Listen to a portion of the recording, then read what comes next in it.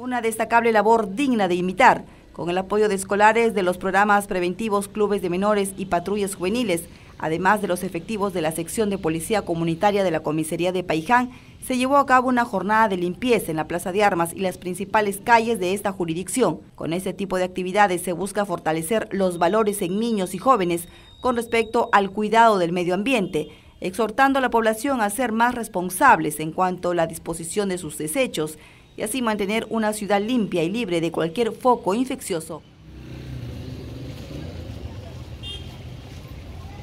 Además, se busca mejorar el aspecto estético de la localidad y prevenir enfermedades en medio de esta difícil situación.